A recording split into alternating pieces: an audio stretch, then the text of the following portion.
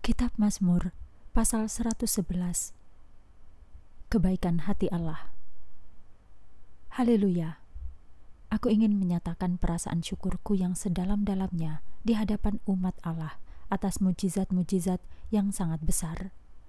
Semua orang yang merasa bersyukur hendaknya merenungkannya bersama-sama dengan aku. Karena mujizat-mujizatnya menyatakan kemuliaannya, kebesarannya, dan kebaikan hatinya yang tetap untuk selama-lamanya. Siapakah yang dapat melupakan keajaiban-keajaiban yang dilakukannya?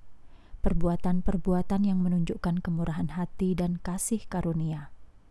Ia memberikan makanan kepada orang-orang yang mempercayakan diri kepadanya. Ia tidak pernah melupakan janjinya ia telah menunjukkan kuasa yang besar kepada umatnya dengan memberikan tanah Israel kepada mereka, walaupun tanah itu adalah tanah tempat kediaman banyak bangsa.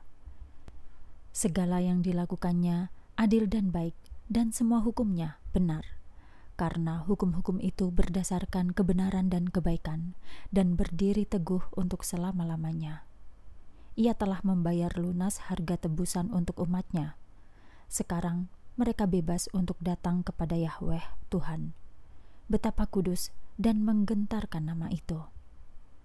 Bagaimana orang dapat menjadi bijaksana? Satu-satunya cara ialah dengan menghormati Allah, karena perkembangan dalam kebijaksanaan diperoleh dengan menaati hukum-hukumnya. Pujilah Dia untuk selama-lamanya.